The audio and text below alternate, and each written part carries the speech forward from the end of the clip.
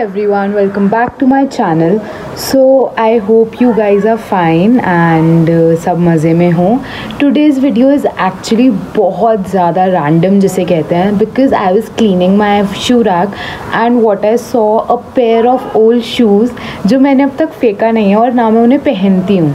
And I was like कि मैंने क्यों नहीं पहनती? बिकॉज़ वो एकदम दे आर लाइक फाइन बस वो आगे से थोड़े गंदे हो गए थे एंड वो साफ़ नहीं होते थे. एंड सेकेंडली जो उनका थोड़ा डिज़ाइन था वो भी यू you नो know, थोड़ा ख़राब हो गया. सो आई थॉट कि इसको हम एक नया लुक दे सकते हैं। This is actually very short video and आगे जो यू you नो know, मैं कनेक्ट करूँगी part that is where I have painted them so I hope you like it so let's get start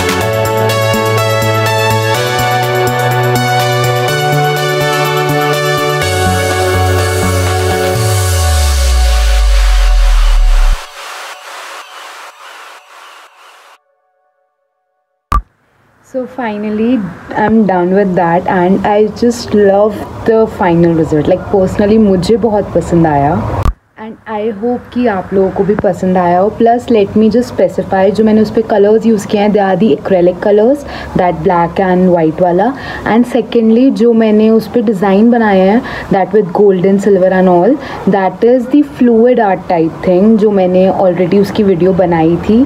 You remember with my homie Kritika still मैं description में उसका link डाल दूँगी if you have missed it by any chance so yeah that was it I just hope you like it and do try अगर आपके पास कोई पुराने शूज़ हो because now I can use them and they are actually the complete new thing now so thank you so much for watching this. Don't forget to like, comment, share and subscribe to my channel.